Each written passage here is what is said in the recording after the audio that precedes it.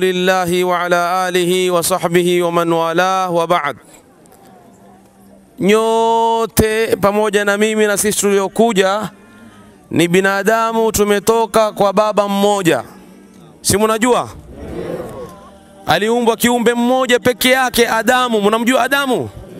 Eh, kutokana na Adamu na Hawa tukatoka sisi sote, lakini lengo lilikuwa ni moja tumtambue muumba wetu ambaye ni Allah, muumba mbingu na ardhi. Nani kaumba mbingu na ardhi? Allah. Nani katuumba sisi? Nani kaumba milima na majabali? Mungu huyu mwenye nguvu, mwenye uwezo, aliyeumba kila kitu, aliyetuumba na sisi, anayetupa riziki ndiye Mungu anayestahiki tumwabudu yeye, tunyenyekee kwake. Munaona sisi tumetoka tulipotoka na vyakula, tumekuja mpaka hapa. Yote hii si nguvu zetu sisi, huu ni uwezo wa nani? Wa Mwenyezi Mungu Subhanahu wa Ta'ala. Iwapo tutaacha kumshukuru Mungu, Mwenyezi Mungu Subhanahu wa Ta'ala ana uwezo wa kufanya vile anavyotaka na haulizwi subhanahu wa ta'ala anayoyafanya. Tuweza kaa na njaa, Mungu akituweka na njaa tutamshtaki nani?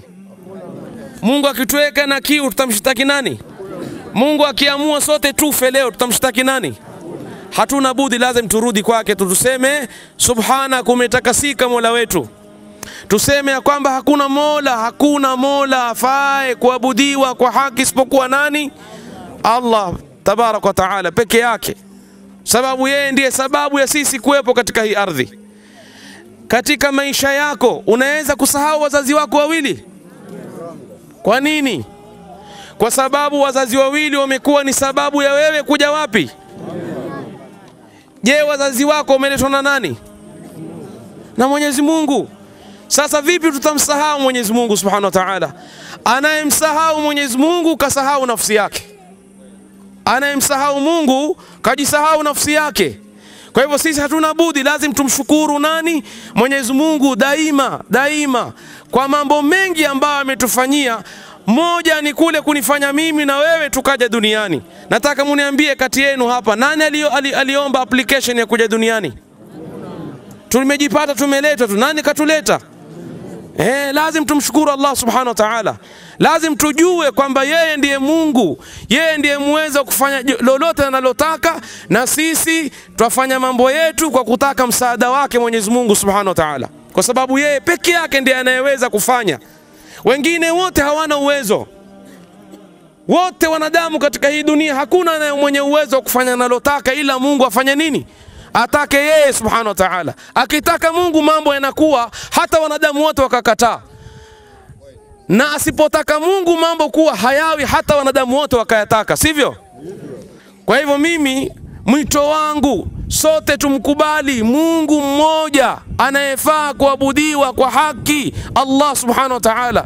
Kwa sababu gani? Mnajua, nataka niwaulize jambo moja tu munijibu.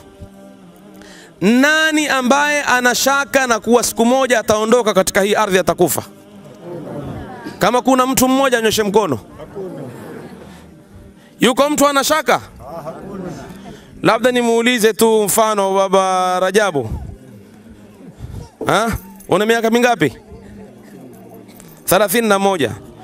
Miaka hamsini iliyopita ulikuwa wapi?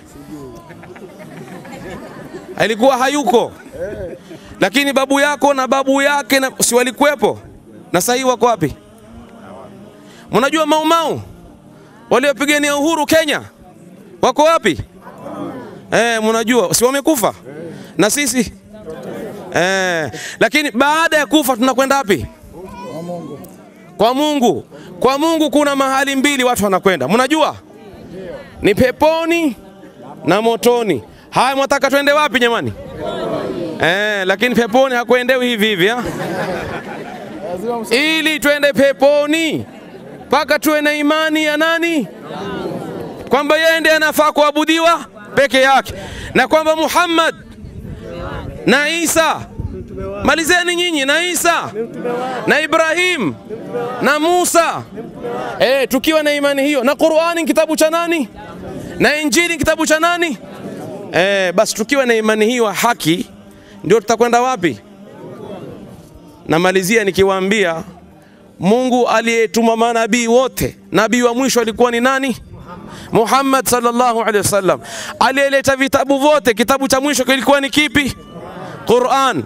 Tushikamane na Mungu, tushikamane na Mtume Muhammad, tushikamane na Qur'ani, tuishi maisha mazuri duniani na tukifa twende wapi? Maneno yangu mimi ni hayo.